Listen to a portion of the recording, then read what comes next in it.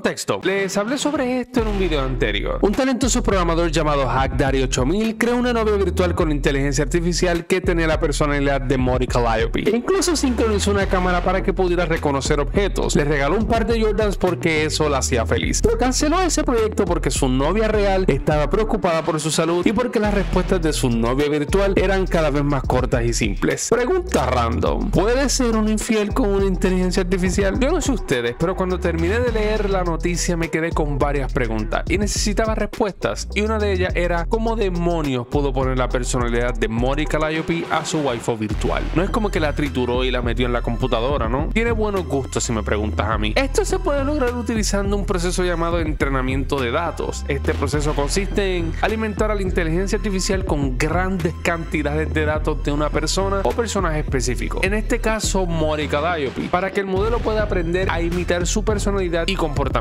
Para hacer esto, Bryce probablemente usó una variedad de datos de Mori Calliope como videos, grabaciones de audio, transcripciones de chats y otros medios de comunicación para entrenar a su inteligencia artificial. A medida que el modelo recibía más datos, comenzó a aprender patrones y características específicas de Mori Calliope, como su tono de voz, lenguaje y personalidad. La voz definitivamente no era la de Mori Calliope, así que esa parte no la entrenó. Y casi inmediatamente mi cerebro pensó, esto suena ilegal. Estoy diciendo que le está haciendo cosas ilegales, yo no soy abogado. Simplemente me dio curiosidad saber si esto puede traer problemas. Y encontré que la creación de un personaje virtual que imita una persona real u otro personaje protegido puede traer problemas. En algunos países podría ser considerado una forma de suplantación de identidad o violación de la privacidad. Como siempre y como todo, esto realmente traería problemas si él estuviera ganando cantidades ridículas de dinero. Mientras tanto, lo ignoran por completo. Pero la historia no termina ahí. Ahora Hackdaddy 8000 planea crear una versión mejorada utilizando un sistema nuevo para almacenar y recuperar la información. Además, está tratando de convencer a una persona real para que le comparta su historial de mensajes de texto. Quiere hacer que las interacciones del personaje virtual sean más convincentes. Solo imagínate, viene un extraño y te dice, hola, necesito todo tu historial de mensajes de texto. Todo es por la ciencia. Para empezar, ¿cómo rayos te puedo dar todo mi historial de mensajes de texto? ¿Hackeando mi teléfono? Creo que la forma más humana de hacerlo es hablando con tu compañía de teléfono y pidiéndole tu historial de texto,